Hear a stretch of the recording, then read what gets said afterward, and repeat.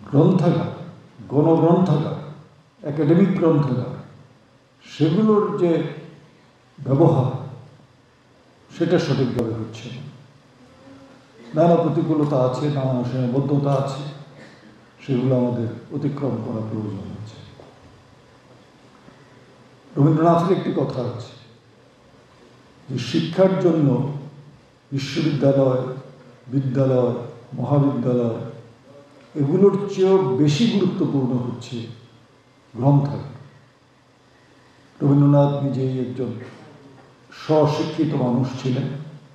তিনি কোনো শিক্ষা প্রতিষ্ঠানে লেখাপড়া করেননি এবং তিনি সঠিকভাবে উপলব্ধি করেছেন যে একটি গ্রন্থাগার একটা সমাজে কি ভূমিকা পালন করতে পারে। বিদ্যুৎ কেন্দ্র থেকে বিদ্যুৎ উৎপাদিত হচ্ছে বলে আমরা এখন একটা আলোকোজ্জ্বল পরিবেশে সমবেত হওয়ার সুযোগ পেয়েছি। কিন্তু এই বিদ্যুৎ তো পৃথিবীকে আলোকিত করেছে। কিন্তু পৃথিবী ততক্ষণ পর্যন্ত আলোকিত হতে পারবে না, যতক্ষণ পর্যন্ত না আমাদের মন আলোকিত হয় আশাপূর্ণা দেবীর একটি কথা আছে, পৃথিবী এত আলোকোজ্জ্বল, কিন্তু আমি বিস্মিত হই যে মানুষ কেন এত অন্ধকারে আছে? মানুষের অন্ধকার যদি আমরা দূর করতে না পারি, তাহলে যত মেগাওয়াট যত হাজার মেগাওয়াট বিদ্যুৎ উৎপাদন করে, তাতে সমাজ খুব বেশি এগিয়ে যেতে পারবে না। এবং সে যে পারবে না, তার দৃষ্টান্ত সারা পৃথিবীতেই দেখা যাচ্ছে।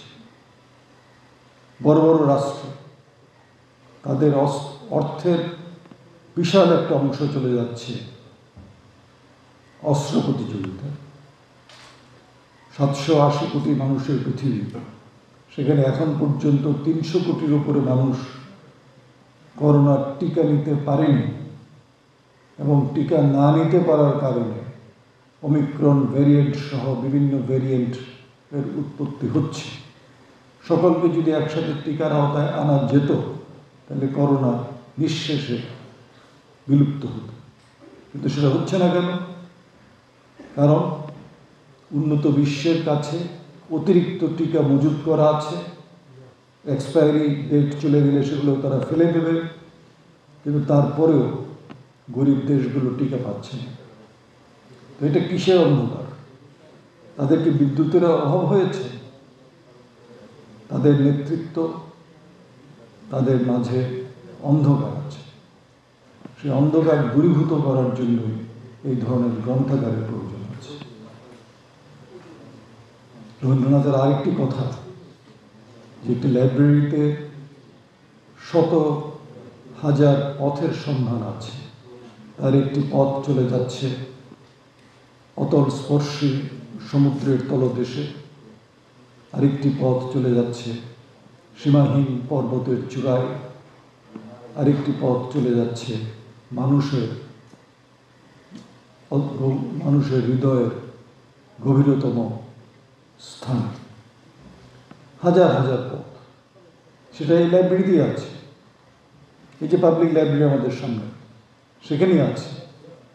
সেই গ্রন্থগুলোকে আমরা পাঠ করছি, অনুধাবন করছি, তাৎপর্য বোঝার চেষ্টা করছি। ওই যে বললাম, পাঠক সম্প্রদায় সৃষ্টি করা। রিডিং পাবলিক সেই পাবলিক আমরা তৈরি করার চেষ্টা চালিয়ে যাব। অব্যাহত রাখব আমাদের প্রচেষ্টা, সেটি আমি কামনা করি। আইনস্টাইনের একটি কথা যে, একজন মানুষের সবচেয়ে বড় তথ্যের ভাণ্ডার হচ্ছে, সে জানে কি না তার এলাকায় কোথায় লাইব্রেরিটি আছে। লাইব্রেরির ঠিকানাটাই তার জানা আছে। একজন মানুষের সেটা জানতেই হবে। এটা তার অবশ্য কর্তব্য। বুঝতে পারেন যে লাইব্রেরিকে বিভিন্ন মনীষী তারা কীভাবে মূল্যায়ন করেছে আমি আমাদের সম্প্রচার জগতের একজন মানুষের কথা বলতে পারি, ওয়াল্টার কন্ট্রাক্ট মার্কিন সম্প্রচারক ছিলেন। বিখ্যাত অ্যাঙ্করম্যান তার কথা হচ্ছে যে গ্রন্থাগারের পেছনে খরচ করা, এটা কখনোই বেশি নয়। কারণ একটা গ্রন্থাগার, একটা নেশন বা একটা জাতিকে জ্ঞান দান করে, জ্ঞানী করে তোলে, বিচক্ষণ করে তোলে। অতএব সেখানে লাইব্রেরি করার জন্য পয়সা নাই প্রজাতন্ত্রে। লাইব্রেরি করার জন্য ফান্ড নাই মন্ত্রণালয়। এটি কোনো প্রশ্ন এটা কোনো প্রশ্ন হতে পারে না। তো আমরা জানি আমাদের নানা সীমাবদ্ধতা আছে, তার মাঝেও সরকারের পক্ষ থেকে পাবলিক লাইব্রেরি উন্নয়নে পাবলিক লাইব্রেরি বিস্তারে টাকা পয়সা বরাদ্দ করা হচ্ছে। কিন্তু আমি আশা করব যে আরও প্রচুর পরিমাণে টাকা বরাদ্দ করা হবে। একটা গ্রামে যদি একটা লাইব্রেরি থাকে তাহলে ওই গ্রামের যে নবীন প্রজন্মের ছেলেমেয়েরা, তারা যদি লাইব্রেরিতে যাওয়ার একটা অভ্যাস গড়ে তোলে, তাহলে সেখানে আর যাই হোক, আপনি মানবিক গুণাবলী সম্পন্ন মানুষ পাবেন আমি দেখেছি জাতীয় গ্রন্থাগার গণগ্রন্থাগার এবং সমাজের বিভিন্ন জনহিতৈষী লোকজন যারা আছেন, তারা প্রত্যেকেই প্রচেষ্টা করে প্রচেষ্টা চালান এই দেশে। যে ছোটোখাটো হলেও একটা লাইব্রেরি যেন প্রতিষ্ঠা পায়। লাইব্রেরি তারা প্রতিষ্ঠা করছেন। কিন্তু ভালো একজন লাইব্রেরিয়ান রাখার জন্য যে ধরনের আর্থিক সংস্থান প্রয়োজন, সেটা হয়তো অনেকে করতে পারে না। অনেক বিদ্যালয়ে লাইব্রেরি আছে, কিন্তু একজন লাইব্রেরিয়ান নিয়োগ দেওয়া যাচ্ছে না। এই ধরনের নানা সমস্যাগুলো কিন্তু আছে। আজকে আমরা এই গণগ্রন্থাগার দিবসে এই বিষয়গুলো নিয়ে আলোচনা করব। শুধু এখানে আনুষ্ঠানিকভাবে নয়, এখানে আমাদের নীতি নির্ধারণী মহলের মানুষ আছেন। আমাদের স্বরাষ্ট্রমন্ত্রী, আমাদের সংস্কৃতি প্রতিমন্ত্রী, আমাদের জাতীয় সংসদ, সংস্কৃতি বিষয়ক জাতীয় সংসদের স্থায়ী কমিটির সভাপতি। ওনারা আছেন, ওনারা বিষয়গুলো জানবেন এবং নিশ্চয়ই সেই বিষয়ে সার্বিক যে সিদ্ধান্ত গ্রহণ, সেটি তারা করবে। আমি আর সময় নিতে চাই না। আমি শুধু এটুকু বলে, আমার বক্তব্য শেষ করব যে ফ্রান্সের চার্লস ডগল, যিনি ফ্রান্সের দশ বছর রাষ্ট্রপতির দায়িত্ব পালন করেছেন, তিনি সর্বপ্রথম পৃথিবীতে সংস্কৃতি মন্ত্রণালয় বলে মন্ত্রণালয় চালু করেছিলেন। তিনি উপলব্ধি করেছিলেন যে সংস্কৃতি একটি দেশের জন্য কত বেশি প্রয়োজন আছে। বাংলাদেশের স্বাধীনতার পর জাতির পিতা বঙ্গবন্ধু শিক্ষা ও সংস্কৃতি, এই দুটোকে একটা মন্ত্রণালয়ে নিয়ে এসে চালু করেছিলেন।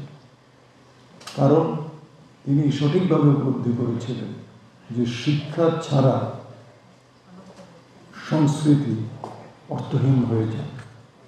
আর সংস্কৃতি ছাড়া শিক্ষা অপূর্ণ থেকে যায়। শিক্ষা এবং সংস্কৃতি পরস্পরের হাত ধরে চলে চলে। আপনি যদি বলতে চান যে শিক্ষা বেশি গুরুত্বপূর্ণ, সংস্কৃতি কম গুরুত্বপূর্ণ, অথবা সংস্কৃতি কম গুরুত্বপূর্ণ, শিক্ষা বেশি গুরুত্বপূর্ণ, এটার সাথে আমরা একমত হতে পারব না। কারণ শিক্ষা এবং সংস্কৃতি মিলেই শিক্ষা। শিক্ষা এবং সংস্কৃতি মিলেই সংস্কৃতি। অতএব সেই কারণেই স্বাধীন বাংলাদেশে আর্থিক নানা সীমাবদ্ধতার মাঝে শিক্ষা ও সংস্কৃতি একটি মন্ত্রণালয় ছিল। এখন আমরা আর্থিকভাবে অনেক সক্ষম। আমাদের শিক্ষা মন্ত্রণালয় আছে। শিক্ষা মন্ত্রণালয়ের মাঝে আরও বিভাজন আছে। কিন্তু সংস্কৃতি মন্ত্রণালয় পৃথক একটি মন্ত্রণালয় আছে। আমরা সংস্কৃতি মন্ত্রণালয়ের যোগেই আজকে এই সমাবেশে যোগ দেওয়ার সুযোগ পেয়েছি।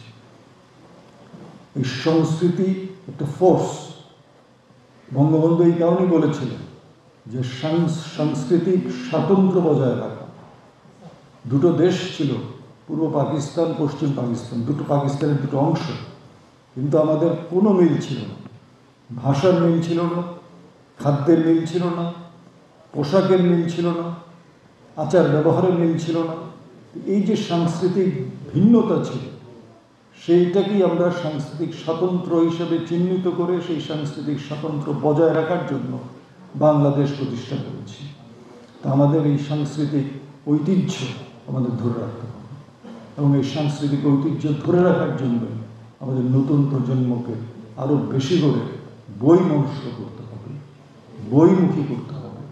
কিন্তু বই বলতে কাগজের বই, এটার আকর্ষণ হয়তো কমে গেছে ডিজিটাল প্রযুক্তির এই যুগে। কিন্তু তাকে যে মাধ্যম সে পছন্দ করে, তাকে সেই মাধ্যমেই সেই গ্রন্থ তার সামনে উপস্থাপন করতে। হবে সেই জন্য ডিজিটাল লাইব্রেরি ডিজিটাল প্রযুক্তি ডিজিটাল স্কিল ডিজিটাল স্কিল সম্পন্ন লাইব্রেরিয়ান এই কথাগুলো লাইব্রেরি ল্যান্ডস্কেপ ইন বাংলাদেশ সেই গবেষণায় উঠে এসেছে।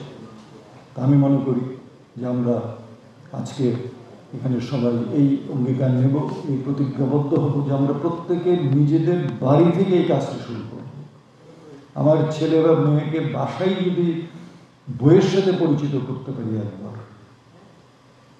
সে সময়ের ব্যবধানে স্কুলের পরে গণগ্রন্থাগারে আসবে, তার স্কুল লাইব্রেরি ব্যবহার করবে এবং এইভাবে তাকে লাইব্রেরি ওরিয়েন্টেশন, লাইব্রেরি ওরিয়েন্টেড করা যাবে।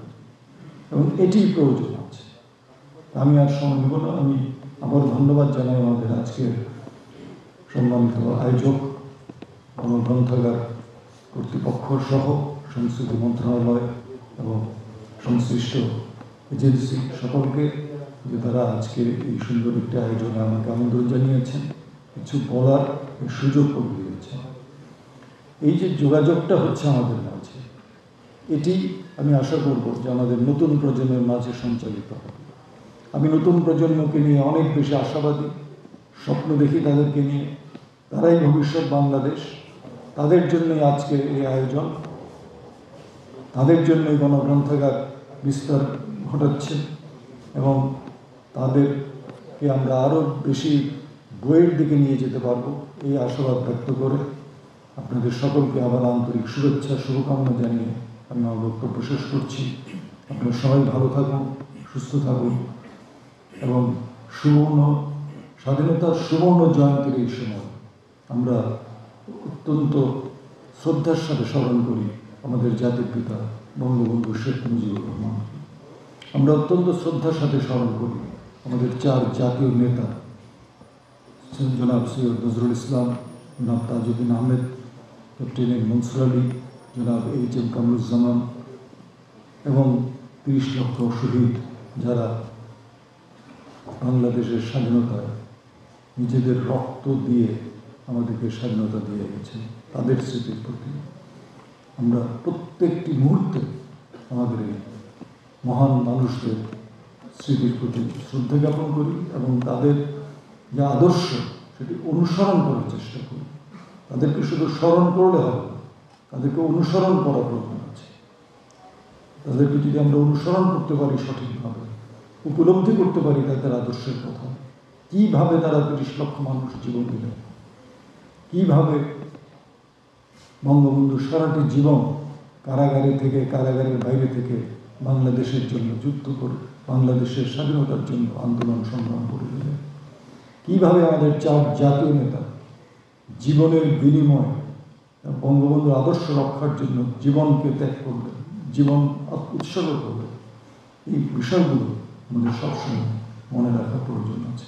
আমাদের নবীন প্রজন্মের কাছে এই বাণী আমরা যেন সবসময় পৌঁছে এই সামান্য কয়েকটি কথা বলে আমার বক্তব্য শেষ করছি। আপনার সবাই ভালো থাকুন, সুস্থ থাকুন। জয় বাংলা, জয় বঙ্গবন্ধু। বাংলাদেশ চিরজীবী